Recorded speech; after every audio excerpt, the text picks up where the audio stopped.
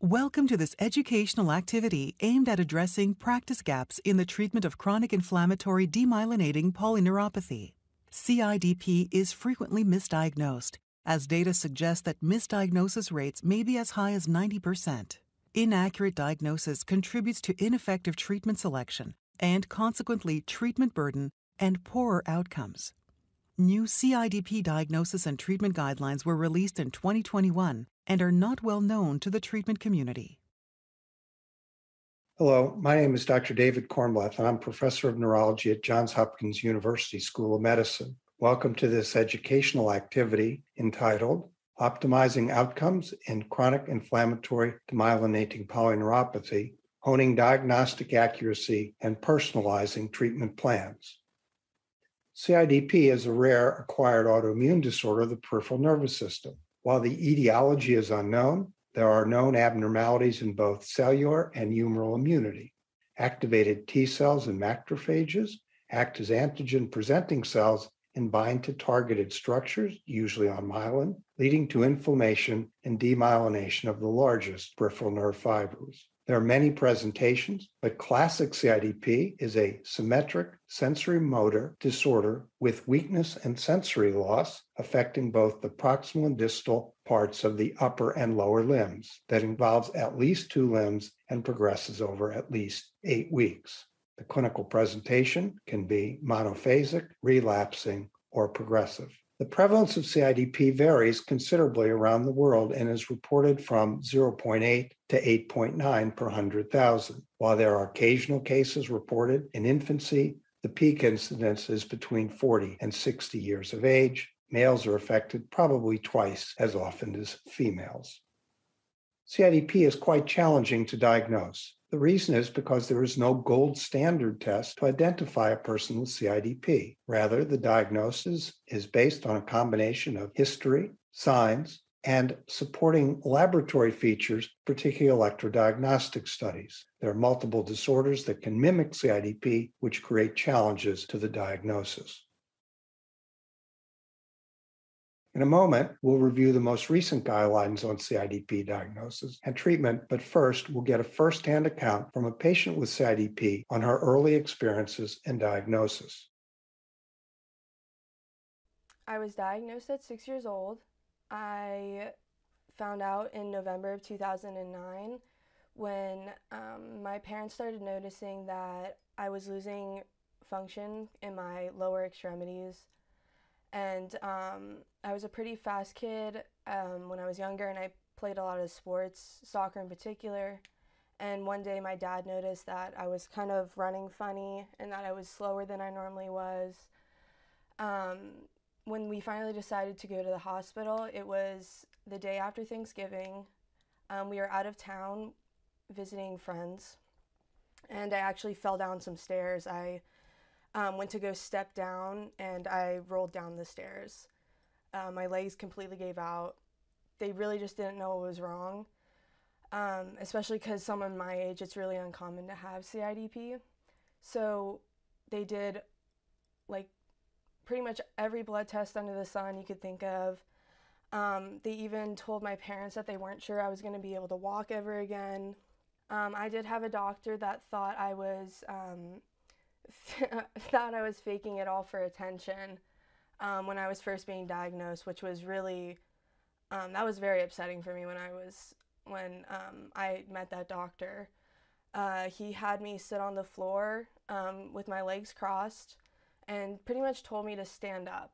And so when I at this point I, I had lost quite a bit of function too. I could still move my arms, but I had a lot of issues standing on my own at this point, and um, I could I I really couldn't walk on my own. I was sitting by the hospital bed and I went to reach um, for the bed, and he told me he sternly told me, "No, you cannot do that." Um, so I tried standing up. I I couldn't really get anywhere. Um, so I started to get upset, and I even started to cry. So that was really upsetting and I, I still get a little choked up thinking about that because it was um, the way that he spoke to me just wasn't wasn't very wasn't very compassionate at all or sympathetic to what I was going through. And um, I think that being compassionate is honestly one of the best things you can do for any of your patients. I think that helps them heal better because they feel like they have a support system. And even if you think someone is, um, or even if you think someone's faking it or um, someone's maybe a hypochondriac and they're over exaggerating what's wrong with them, I don't think it's really a doctor or nurse's place to tell them that they're faking it until the test say. Now let's move from the specifics of one patient's experiences to a look at what's new in CIDP. In 2021, the European Academy of Neurology slash Peripheral Nerve Society guideline on the diagnosis and treatment of CIDP was published as of second revision, updating the 2010 guidelines. In the previous guidelines, CIDP was subclassified into typical CIDP and atypical CIDP. With the new guidelines, the terminology has been changed to include typical CIDP and CIDP variants. The variants are now well characterized, each presenting with a specific clinical and electrodiagnostic phenotype. Although the previous 2010 guidelines were shown to have quite good diagnostic accuracy, multiple studies have shown that misdiagnosis remains common. This is especially true with regard to CIDP variants. In this guideline, CIDP has been divided, as I mentioned, into typical and variant forms. Those variant forms include distal CIDP, a multifocal or focal CIDP, pure motor CIDP, and pure sensory CIDP. The typical features of the classic form include sensory and motor symptoms, distal sensory loss with proximal and distal weakness, and areflexia occurring for more than two months. Nerve conduction studies show clear evidence of demyelination. The CSF protein is elevated, but the cell count is normal. Routine laboratory studies, and in particular, protein studies, should be normal. Although rarely done now, nerve biopsies will show T cell infiltration and macrophage associated demyelination. There is a clear response to treatment that is measurable. And as mentioned before, there is no gold standard for the diagnosis. An important component of the diagnosis comes from electrodiagnostic studies where the features support demyelination. These include prolonged distal motor latencies, abnormal temporal dispersion, partial motor conduction block, reduced motor conduction velocities, prolonged F wave latencies, absence of F waves, and even distal compound muscle action potential durations. There are features that support the diagnosis, including peripheral nerve or plexus imaging, including both MRI and ultrasound. As we think about the diagnosis of any of the forms of CIDP, either the typical or the variants, the first question that should come to mind is Does the story from the patient sound like it's clinically CIDP? If not, one should think about other diagnoses. The next step in the diagnostic algorithm would be Does the EMG show demyelination or not? If it does, then one can look into the criteria and decide whether there is fulfillment of the diagnostic criteria for either a variant or typical CIDP, that is, clinical and electrodiagnostic features. And if not, we have a lesser category now called possible CIDP. There are ways to raise a possible CIDP diagnosis to a complete CIDP diagnosis using additional tools, the most important of which is a positive response to therapy. There is a differential diagnosis of CIDP that is frequently forgotten. The main one, of course, is chronic idiopathic axonal neuropathies, particularly in the older group.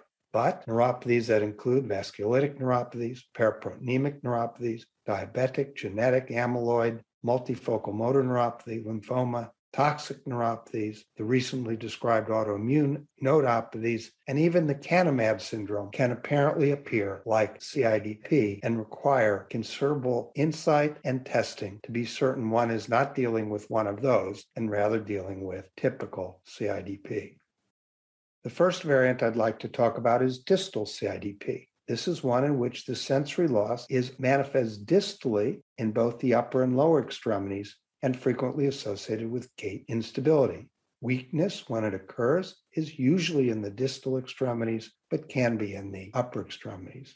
About half to two thirds of the patients with distal CIDP will, in fact, have an IgM paraproteinemic neuropathy found by serum protein electrophoresis and serum immunofixation. If, however, that patient has anti MAG antibodies, then it cannot be CIDP as it is a separate disease called anti MAG neuropathy. There are a number of red flags, as listed in the criteria, that cast doubt upon the diagnosis of distal CIDP. These are the presence of diabetes, the presence of a positive family history, pain out of proportion to other features, autonomic features, and the presence of monoclonal gammopathies.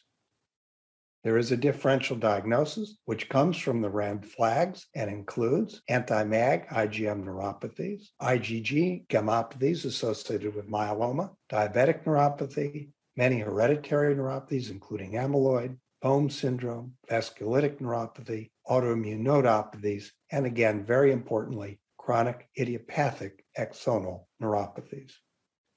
The next variant I'd like to discuss is multifocal CIDP. This usually affects the upper limbs first, but in a multifocal pattern, unlike typical CIDP. The lower limbs can be involved later or rarely are involved at the beginning. Cranial nerves are more frequently involved in this variant than in any of the others put together. The red flags here are pain, a positive family history, or systemic signs of vasculitis. Focal CIDP. It's extremely rare, usually affects the brachial or lumbosacral plexus, and in fact, can even affect only a single nerve. The red flags again are pain, a positive family history, or signs or symptoms of vasculitis. The differential diagnosis for these two forms, the multifocal and the focal, include standard entrapment neuropathies, diabetic radiculopathies and plexopathies, hereditary neuropathy with liability to pressure palsies, multifocal motor neuropathy, brachial plexopathies or neuralgic amyotrophy, isolated peripheral nerve tumors, and vasculitic neuropathies. There is a variant entitled pure motor CIDP, which presents as relatively symmetric proximal and distal weakness without sensory loss. Sensation is normal not only clinically, but also electrodiagnostically, which differs from typical CIDP, where sensation must be abnormal, and multifocal motor neuropathy, where there is asymmetric weakness, mainly affecting the upper limbs. In the motor variant, if sensory conduction is abnormal, we call this motor predominant. It's been noted for a long time that patients with motor CIDP may deteriorate quite significantly after initiation of corticosteroid therapy. There are red flags when one sees so called motor CIDP. Those include features of either myasthenia or motor neuron disease, such as dyspnea, dysarthria, or dysphagia, a positive family history suggesting a genetic neuropathy, an asymmetric onset suggesting multifocal motor neuropathy, or an elevated CK suggesting myositis. Those diseases I've just mentioned are in the differential diagnosis. The last variant is pure sensory CIDP, which usually presents with gait ataxia with impairment of vibration and position. Patients with this will have changes in cutaneous sensation, but will not have weakness. Long term studies have suggested that sensory CIDP is a transient clinical stage that precedes the appearance of weakness in at least 70% of the patients. If there's motor conduction abnormalities in a patient with pure sensory CIDP, we call it sensory predominant CIDP. The red flags mention the differential diagnosis, including diabetes, B12 deficiency, chemotherapy induced polyneuropathy, B6 intoxication, sensory neuronopathies from a large number of causes, IgM, monoclonal gammopathies with anti MAG reactivity, and finally, the very, very rare chronic immune sensory polyneuropathy. As mentioned at the beginning of the talk, overdiagnosis of CIDP is quite common. In a published study from Minnesota, there were four key failings that led to the misdiagnosis. The first was failing to focus on the symptoms and signs that are distinct to CIDP, as I've just mentioned above. The second was making the diagnosis in a patient who didn't seem to be CIDP on the basis of an elevated CSF protein, particularly trivial elevations of CSF protein, as we know are common in the elderly. The third mistake was calling an axonal neuropathy a demyelinating neuropathy because there are trivial and well-known expected reductions in motor conduction velocity that accompany axonal polyneuropathies. And lastly, a very common one is failing to assess for and expect a positive clinical response. That is, patients who are treated with immunotherapies should improve, and that improvement should be measurable. If not, it is likely that the diagnosis is incorrect. There are other reasons why the diagnosis of CIDP may be wrong. When a person has prominent neuropathic pain, the diagnosis of CIDP is less likely. If the disease is predominantly distal or solely distal, then this makes the diagnosis less likely, as standard late life onset neuropathies are predominantly or solely distal. If there is extensive autonomic involvement, this raises the possibility of amyloid and reduces the possibility of CIDP. Patients with diabetes, particularly without good control, can frequently have very abnormal motor conduction studies and more widespread weakness, but this is not CIDP and does not respond to immunotherapy. If you have a patient in whom the diagnosis was made either from the CSF protein value or solely from nerve conduction studies, it's unlikely to be CIDP. And last, if in a practice there are lots and lots of CIDP patients from a small geographic area then epidemiologically that's not probable, and many of those patients will not have CIDP.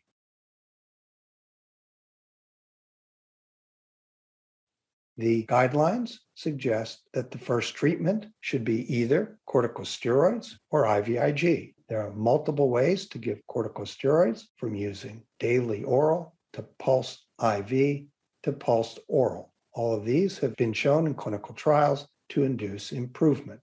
IVIG is usually given as an induction dose of two grams per kilogram over three to five days, and then one or two additional doses before deciding whether IVIG will work or not. Although a first line treatment is plasma exchange, this is not usually considered unless there's an inadequate response to corticosteroids or IVIG, or unless a patient is declining extremely rapidly. When used, plasma exchange is given two to three times a week for about a month before hoping for an improvement. Once the induction is given and there's improvement, we go to the maintenance phase, which for corticosteroids is usually oral, or for immunoglobulin now converts to either intravenous or subcutaneous immunoglobulin. If there's a complete response, that is, the patient returns to normal, one should periodically reduce either the dose or frequency of medication to get to the ultimate outcome of trying to stop treatment if there's a partial response, one could consider increasing the dose or frequency or adding another treatment. Again, the long term goal is to try to stop treatment.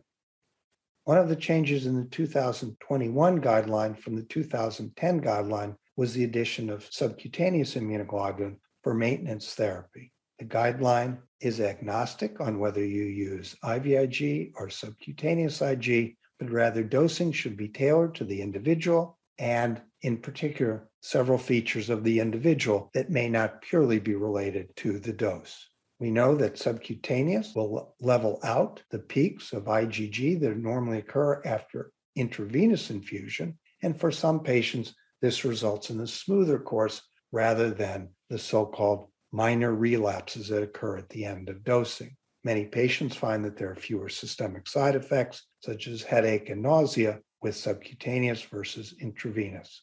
In my view, the main rationale for subcutaneous is increasing patient autonomy and their quality of life. The PATH trial is a double blind, randomized, placebo controlled phase three study. The primary endpoint was a CIDP relapse or study withdrawal by 24 weeks. And the conclusion was that both doses, 0.4 and 0.2 grams per kilogram, were effective at maintaining stable disease over 24 weeks. In the extension study, relapses were less frequent at the higher than at the lower dose. Adverse events were seen in many of the patients, but were mild or moderate. In the subcutaneous dosing groups, injection site reaction was common, but declined over time.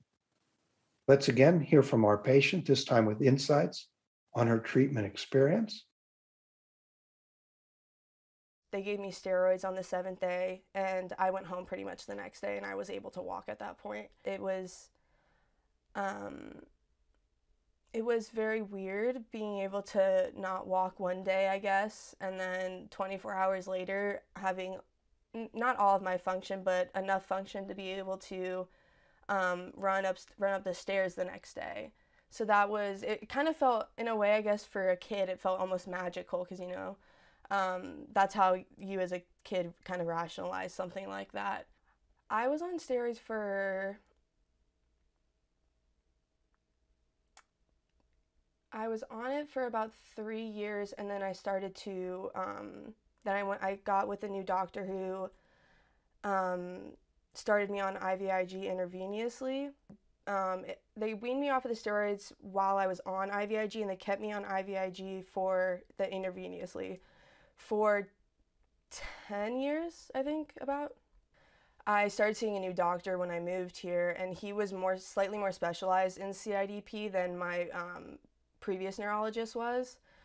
Um, so he knew a little bit more about it, and um, they were worried, or he was worried that my veins were going to start collapsing since they hadn't already. And he was honest, he said that he was surprised that they hadn't all collapsed already. And he decided that it would be best to do a subcutaneous um, immunoglobulin treatment. You know, you think it'd be a, a, lot more complicated than it is.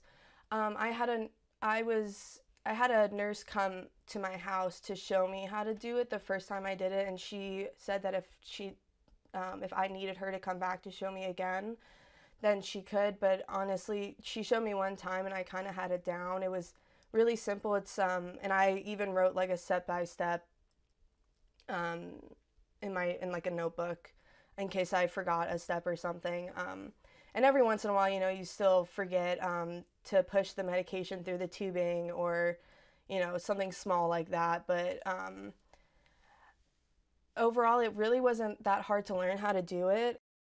As one considers individualizing treatment decisions, one needs to include discussions about systemic and local adverse effects of the treatment, patient preference, autonomy and independence, importantly, vascular access, and for some, access to specialty treatment facilities. One item that is frequently forgotten is that side effects, particularly of IVIG, increase in frequency as one gets older, and this should be taken into account.